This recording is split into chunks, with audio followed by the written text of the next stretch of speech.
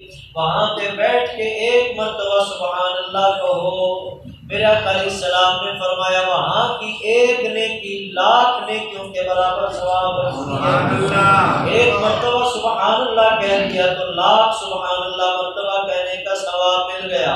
एक नमाज़ पढ़ी लाख नमाजों का सवाब मिल गया।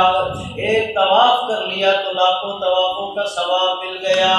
एक पुराने करीम की आयत को पढ़ लिया तो लाखों आयतें पढ़ने का सवाब मिल गया।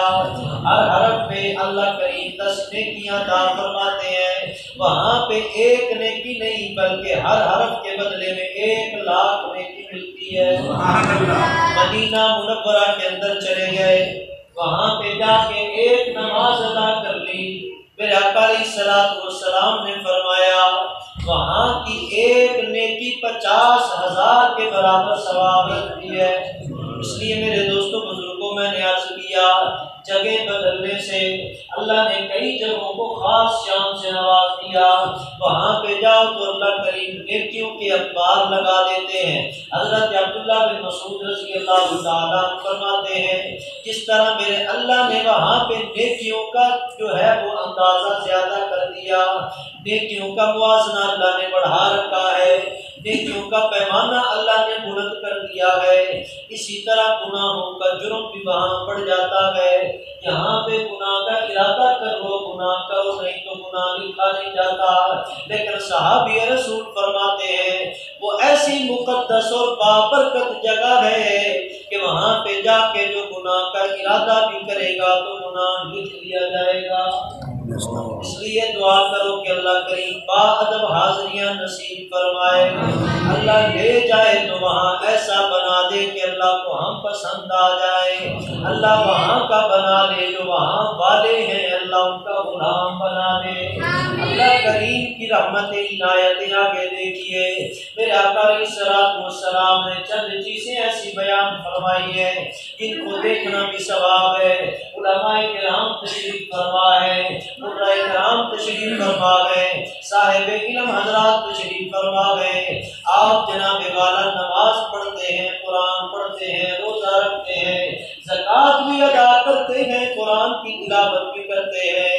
लेकिन आइए ना, हम का सवाल, उलमा की बारगाह में रखते हैं। हजरात हमें बताइए, ईमान लाने के बाद सबसे बड़ी इबादत कौन सी है? आप कहेंगे, नमाज़ सबसे बड़ी इबादत है। ये कहेंगे, बड़ी इबादत अहम इबादत है। लेकिन ईमान लाने के बाद सबसे बड़ी इबादत नहीं है। हम जक़ात देते हैं, हम हज करते हैं, हम रोज़ा रखते हैं। ये बड़े सवाब रखते हैं, बड़ी फजीलतें रखते सबसे बड़ी इबादत नहीं है। बात को मैं मुख्तसर करता चलूँ। अल्लाह अकबर कबीरा जिहाद करना बड़ा सवाब है। बड़ी इबादत है, लेकिन सबसे बड़ी इबादत नहीं है। कायनात के अंदर सबसे बड़ी इबादत अल्लाह ने कौन सी रखी है? आपको लमा जवाब देंगे। कायनात में अल्लाह ने जिस इबादत को सबसे बड़ा कहा, सबसे ज़्यादा उसकी फजीलत रखी है। ईमान की हालत में कमली वाले सल्लल्लाहु अलैहि वसल्लम के चेहरे का दीदार करना है। मेरे आका के चेहरे की जियारत कर ली वो कायनात का सबसे खुश नसीब इंसान बन गया है। मेरे आका की जिसने सोबत पा ली वो बंदा जन्नती बन गया कायनात से आला अफसर होता चला गया। यही तो वजह है वो साहब कराम भी साबित हज़रत हुसैन रज़ी अल्लाह तआला कहा जाता है हज़रत अबू हुरैरा भी से उनका में नाम लिया करते थे। इन्होंने ज़िंदगी भर कुफर के अंदर गुजारी, जिहालत के अंदर गुजारी, लेकिन मेरे आका की खिदमत में आए कलमा पड़ा मुसलमान हुए। मेरे आका के साहबी बने। इधर अल्लाह की तरफ़ से हुक्म आ गया और दुनिया से प्रवास कर गए। आखिरत की तरफ़ चले गए। हज़रत फरमाया करते थे, ओ मेरे साथियों, ये तो बताओ ना, वो कौन सा खुश नसीब इंसान है? जिसने की भर एक नमाज़ नहीं पढ़ी किसने एक जिहाद भी नहीं किया। जिसने कुरान की तिलावत भी नहीं की? जिसने जक़ात भी अदा नहीं की? जिसने दुनिया का कोई अमल, कोई नेकी नहीं की? लेकिन फिर भी सीधा जन्नत के अंदर चला गया। अगर साथी खामोश रहते तो हज़रत अबू हुरैरा, कह दो रज़ी वो फरमाया करते थे, वो कोई और नहीं है, तुम्हारा भाई अमर बिन साबित हुसैन है। जिसने एक नमाज़ नहीं पढ़ी, लेकिन कमली वाले का सहाबी बना, फिर भी सीधा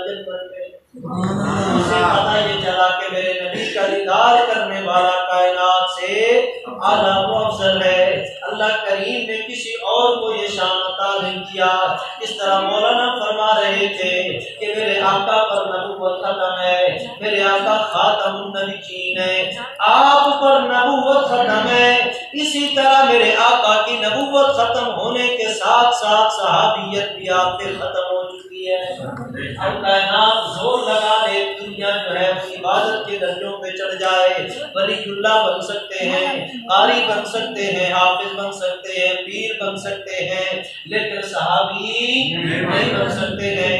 अल्लाह अकबर कबीरा, ये तो मेरे आका के चेहरे का दीदार करना है। अब आइए ना इस कुरान की तरफ़ भी आते हैं। मेरे आका साहिब कुरान है और ये मेरे आपके पास कुरान मौजूद है। सलाम का ये भी कुरान मेरे अकाली सलाम जो फरमाए हमारे लिए वो भी कुरान अब इस कुरान करीम की तरफ़ आते गए इस कुरान करीम को देखने वाला भी अजर सवाब से मालूम नहीं रहा करता है। अल्लाह अकबर कबीरा। मेरे आका सलाम ने फरमाया, कुरान करीम की जो बंदा जियारत करता है, अल्लाह करीम उसको भी सवाब अदा फरमाते हैं। कुरान को जो हाथ लगा लेता है, अल्लाह करीम उसको भी सवाब अता फरमाते हैं। कुरान करीम को जो पढ़ता है, अल्लाह करीम हर हरफ के बदले में दस नेकियाँ अता फरमाते हैं। कुरान का एक हरफ पढ़ने वाला दस नेकियों से माला माल हो जाया करता है। और मेरे आका की जात पे एक दफ़ा दरूद पढ़ने वाला रब की दस रहमतें ले जाता है। मेरे आका सलाम की हदीस पढ़ो, तब भी अल्लाह की रहमतें उतरती है। मेरे अल्लाह का कुरान पढ़ो, तब भी रहमतें उतरा करती है। एक बीमार आदमी है, उसके पास दो आदमी आए। कहने लगे, भाई, आयतुल कुर्सी में अल्लाह ने तीन सौ साठ अपनी रहमतों को छुपा रखा है। तो क्या इस मरीज़ के लिए जो कुरान का पढ़ने वाला है। इसके लिए एक रहमत भी अल्लाह ने नहीं रखी। ये कुरान भी पढ़ता गया है, आयतुल कुर्सी भी पढ़ता है। दूसरा आदमी कहता है, ज़रूर अल्लाह ने इसको रहमतों से नवाजा होगा। अल्लाह अकबर कबीरा वो नींद से बेदार हुआ तो अल्लाह करीम ने उसकी सारी बीमारी को दूर कर दिया। के पास शगिर्द मिलने के लिए आए हुए और शगिर्द मिलने के लिए बैठे हुए। एक शगिर्द अचानक से बैठा बैठा मिलने जाए तो क्या कहेंगे क्या है उसका खरीत से अल्लाह से दे अब इस शगिर्द का अजीब अंदाज देखिए ना शगिर्द ने आके बैठे बैठे हाल चाल पूछते पूछते अचानक से कहने लगा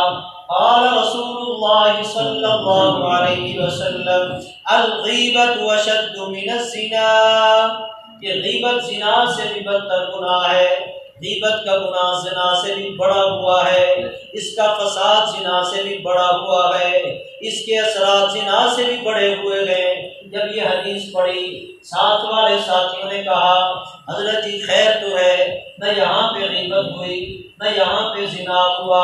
आपने किस हवाले से इसको पढ़ दिया? ये हदीस का मौका नहीं है।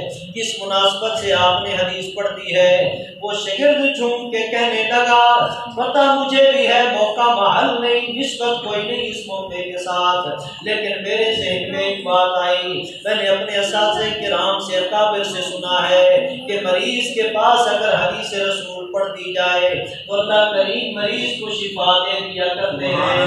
मेरे जेन के अंदर कोई और हदीस नहीं आई जो मैं तिलावत कर सकता। मुझे ये हदीस अजबर और जुबानी याद थी। इसलिए बतौर बरकत के कि हमारे उस्ताद को अल्लाह करीम से अता फरमा दे। इसलिए मैंने इसी हदीस को तिलावत कर दिया। अल्लाह अकबर कबीरा। बुज़ुर्गों के बारे में आता है कि हदीस सुनने के बाद और उस तारे बेलम का उससे गिरद का जज्बा सदाकत सुनने के बाद फरमाते हैं कि अल्लाह पाक ने वाकई मेरी बीमारी को कम कर दिया। जो मेरे नबी के फरमान को पढ़े, अल्लाह करीम उसको भी नवाजते हैं। रब के कुरान को पढ़े, अल्लाह करीम उसको भी नवाजते हैं। कुरान करीम के सारे हिस्से कोई न पढ़े। जनाब वाला अल्लाह के दरबार पे आ जाए, अल्लाह के सामने आ जाए। तबर्रबिल कुरान अल्लाह के नबी सलाम ने फरमाया, ओ दुनिया के लोगों, ये कुरान अल्लाह का कलाम है। इसको अपने साथ लाजिम पकड़ लो, इसके बरकत हासिल कर लिया करो। सूरह बकरा जिस घर में पढ़ी जाए, अल्लाह करीम शैतानों को वहाँ से भगा देते हैं। आज जादू जिन्नात से परेशान नज़र आने वाले हजरात, ये नबवी नुस्खा अपने लिए लाजिम कर ले। घर में सूरह बकरा की तिलावत का मामूल बना ले। रब काबा की कसम मेरे आका का फरमान है और सच्चा फरमान है। घर से शयातीन जादू शराब बिल्कुल खत्म हो जाएँगे। रब के कुरान में ऐसी सूरतें भी मौजूद हैं। जो यहाँ पढ़ो तो यहाँ फ़ायदा, और जब मर जाएँगे तो कब्र में भी काम आएँगी हशर में भी काम आएँगी। हज़रत उस्मान गनी रसी अल्लाह तआला हो हज़रत अब्दुल्ला बिन मसूद रसी अल्लाह तआला से रिवायत है। मेरे आका सलाम ने फरमाया, मन वाक़िअति फ़ी कुल्ली लैला, लम तुसिबहु फाक़तुन अबदा। हज़रत अब्दुल्ला बिन मसूद फरमाते हैं, मेरे आका ने फरमाया, जो हर रात में सूरत की तिलावत करता है, कायनात खत्म हो सकती है, लेकिन इसको कभी गरीबी नहीं आ सकती है। और हज़रत अब्दुल्ला बिन मसूद के बारे में आता है, वो कान यअमुरु बनातिही अन यक़रअनहा। हज़रत अब्दुल्ला बिन मसूद रज़ी अल्लाह तआला हो अपनी बेटियों को हुक्म दिया करते थे। बेटियों, जो मर्ज़ी हो जाए, लेकिन सूरत वाक़िया की तिलावत कभी न छोड़ना। फिर यही असर है हज़रत अब्दुल्ला बिन मसूद का आखिरी वक्त है। हज़रत उस्मान तशरीफ़ ले आए कि आपका आखिरी वक्त है, आप चाहें तो बैतुलमाल से आपकी मदद नुसरत कर दी जाए। आपकी बेटियाँ ही बेटियाँ हैं। तो भाई, बेटियाँ भी अल्लाह की रहमत हुआ करती हैं। बेटे अल्लाह की नेमत हुआ करते हैं। मेरे अकाली सलाम की हदीस सुनते जाओ। आज के दौर में बेटी को जहमत समझा जाता है। बेटी पैदा हो जाए तो कहते हैं ये औरत मनहूस है। और फिर यहाँ तक कि सिर्फ़ बेटियाँ पैदा होने पर कई लड़कियों के घर उजड़ चुके हैं उनको तलाकें दी जा चुकी हैं। ससुर भी जुल्म करे सास भी जुल्म करे लेकिन ये नहीं जानते कि ये देने वाला कौन है। देने वाला कौन है? अल्लाह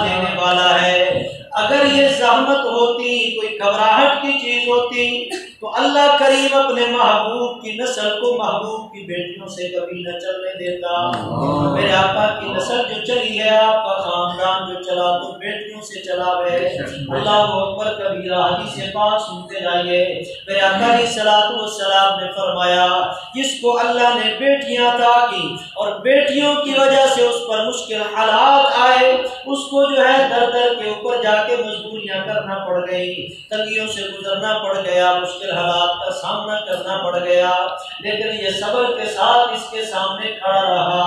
बेटियों की तालीम और तरबियत में लगा रहा और बेटियों का अच्छा जगह पे अच्छा रिश्ता देख के उनका इंतज़ाम कर दिया। उनको, उनके घर रवाना कर दिया। मेरे सलाम ने फरमाया कि ये बेटियाँ कल माशर के मैदान में इसके लिए जहन्नम से रुकावट बन जाएँगी जहन्नम का फैसला होगा, फिर भी ये बेटियाँ जहन्नम में नहीं जाने देंगी। अल्लाह अकबर कबीरा हज़रत उस्मान फरमाते हैं अब्दुल्ला बिन मसूद, आपकी बेटियाँ ही बेटियाँ हैं।